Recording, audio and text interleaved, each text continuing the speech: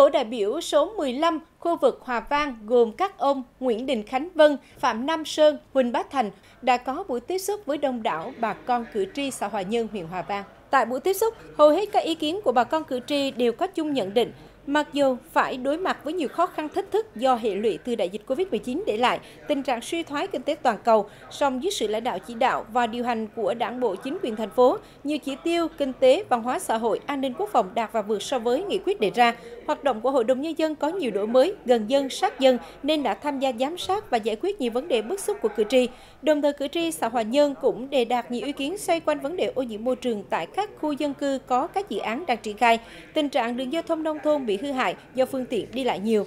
những vướng mắc khi người dân có nhu cầu cải tạo vườn tạp vân vân.